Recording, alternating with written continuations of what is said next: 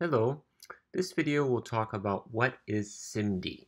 SIMD stands for Single Instruction Multi-Data. It's a form of parallelism. It happens at the level of the processor. It can really increase your performance. And so we'll get down to the nitty-gritty parts of what that means.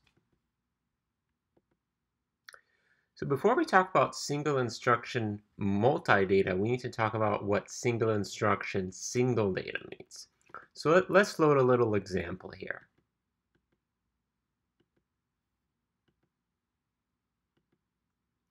So here we have two operands. We have 4 and 4. If we add them together, it makes 8.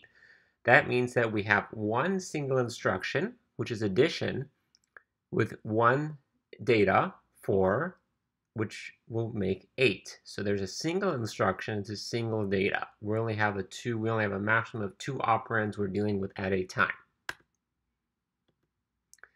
A single instruction multi-data takes the same principle but applies it to multiple data. Let's take a look at this example. We're going to load two vectors. Vectors are sort of like groups of data. Think of like if you vector would be like four integers or like four integers of some size, like 32 bits, right? So let's load that example, all these nice, beautiful arrows. Um, keep going, keep going.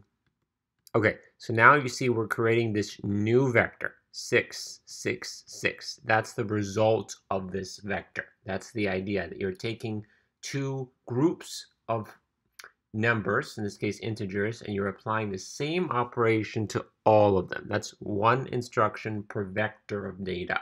You take two vectors, it's the same instruction. So this is achieved through something called a special SIMD register. To keep it simple, it's the idea that we're extending the usual maximum data size of 64-bit integers into larger sizes.